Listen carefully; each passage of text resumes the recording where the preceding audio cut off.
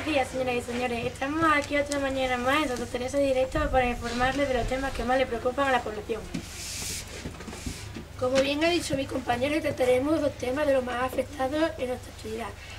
Coeducación y especies invasores.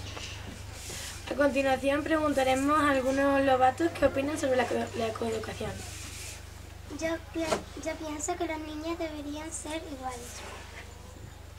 Yo pienso lo mismo, porque no hay, no hay diferencia entre nosotros.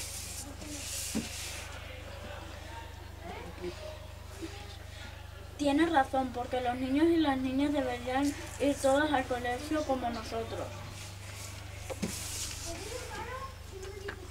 Como bien han dicho estos lobatos, yo creo que todos estamos de acuerdo en este tema. Y esto da paso al siguiente tema.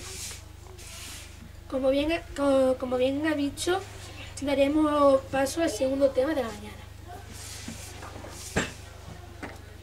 En Extremadura hay varias especies invasoras, por ejemplo el percasol, que ha invadido el pantano de Orellana y que se introdujo en la península ibérica hace mucho tiempo. También tendremos que tratar aquí el tema del medio ambiente, dado que hay muchas especies en peligro de extinción.